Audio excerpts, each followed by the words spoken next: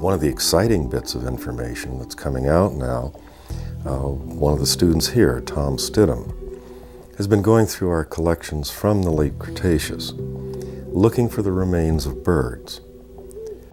And what they're finding is that um, there is at that time, in the late Cretaceous, quite a diversity of modern groups of birds. Uh, Tom has just had a, an art, little article published in Nature uh, in which he describes a late Cretaceous parrot. Uh, there are more pieces of information out there that are now being described in papers that are uh, being written or in uh, review, showing that other kinds of modern birds were present in the um, late Cretaceous.